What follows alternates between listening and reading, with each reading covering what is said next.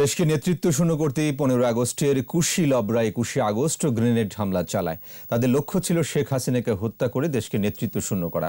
আওয়ামী লীগের নেতারা বলেছেন, দেশের মানুষের ভালোবাসায় সেই ঘৃণ্য ষড়যন্ত্র ব্যর্থ হয়েছে। মোহাম্মদ নুরুন্নবীর আরেকটি রিপোর্ট। একুশে আগস্ট গ্রেনেড হামলাস্থলের বেদিতে প্রধানমন্ত্রীর পক্ষে শ্রদ্ধা নিবেদন।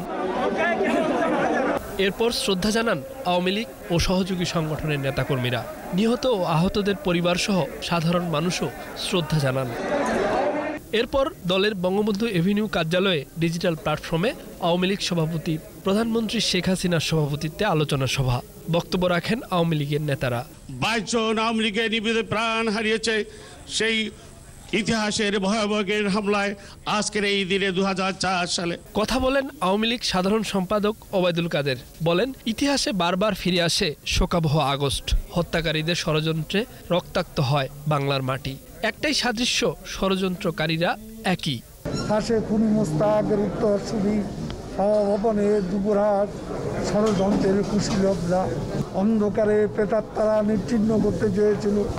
বঙ্গবন্ধু পরিবারকে আওয়ামী লীগকে করতে চেয়েছিল নেতৃত্ব শূন্য।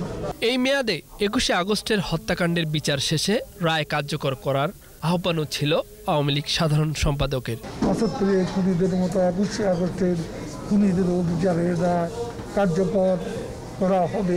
তারেক রহমান সহ পলাতক খুনিদের অনতিবিলম্বে দেশে ফিরিয়ে আনা হবে বলেও জানান ওবায়দুল কাদের। তারেক রহমান সহ খুনিদের দেশে ফিরিয়ে মোহাম্মদ নুরুন নবী একুশে টেলিভিশন ঢাকা।